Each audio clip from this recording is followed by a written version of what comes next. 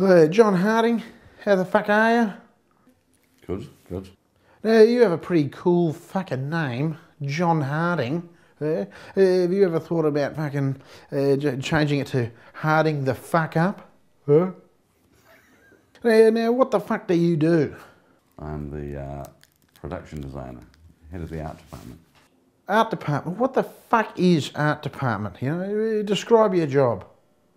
We, uh, we are in charge of all the visuals, everything that, except for the costumes, we make, we make, we decide what everything should look like.